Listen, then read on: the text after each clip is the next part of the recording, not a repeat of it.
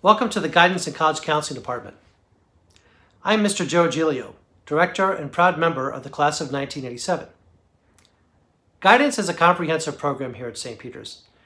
We have a team of nine counselors, as well as a social worker.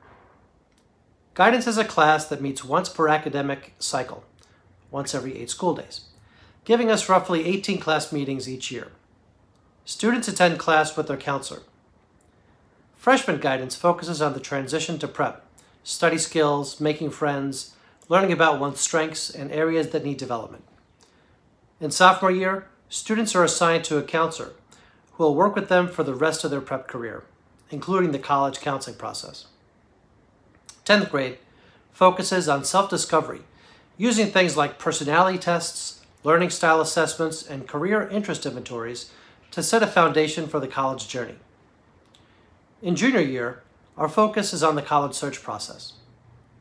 Senior year starts with the procedural aspects of applying to college, and then we shift to the transition that lies ahead after high school.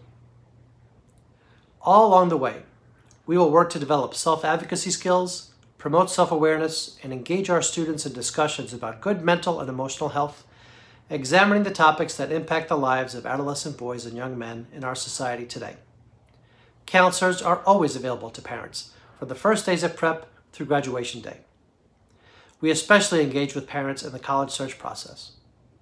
I am happy to share more, from details on our standardized testing approach to our course syllabi.